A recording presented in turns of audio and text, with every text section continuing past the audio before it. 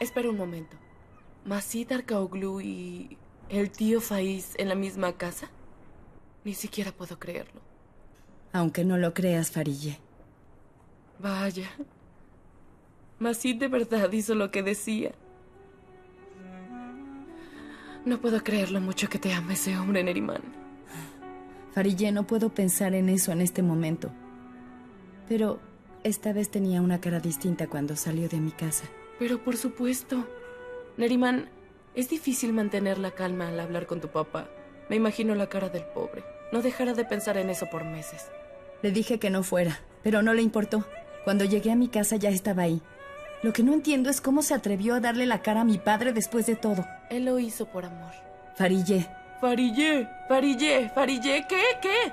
Yo todavía creo en el amor que Masid te tiene. No, él no debió haber ido a tu casa. Pero lo hizo. Porque lo único que quería era proteger el amor que aún se tienen a pesar de todo lo que le está sucediendo. Farille. Eh, tú sabes quién es Pelín, ¿no es verdad? Sí, lo sé. La bruja rubia. Es una mujer tan falsa que ni siquiera su cabello es real. Es teñido.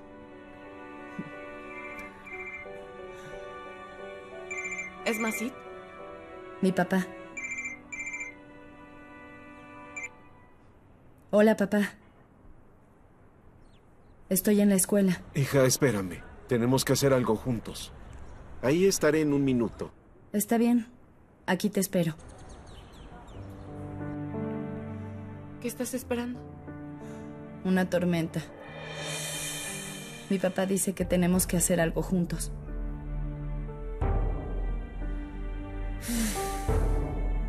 Neriman, corre por tu vida.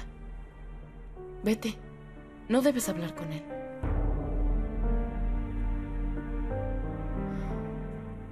Neriman, tengo una idea. Llámale a Masid.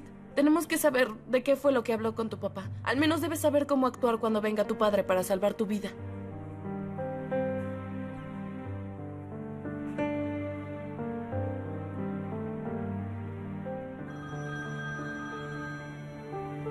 Llamada de Nerimán.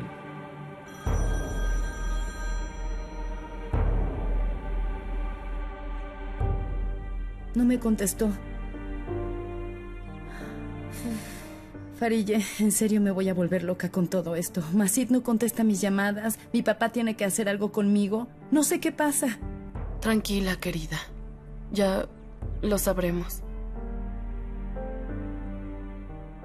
Pronto lo sabremos.